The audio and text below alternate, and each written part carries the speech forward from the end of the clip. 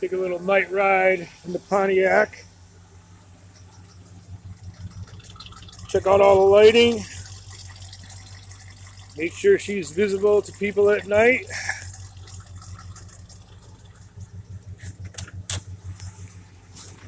Dash lit pretty good.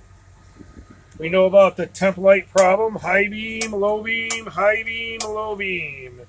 Let's take a little ride.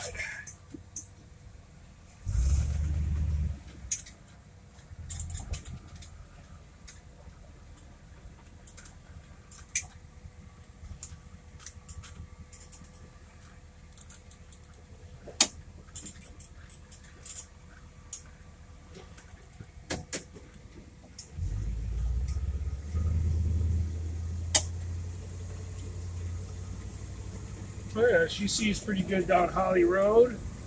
About 100 feet ahead like they're supposed to. High beam, real good. Low beam, as expected.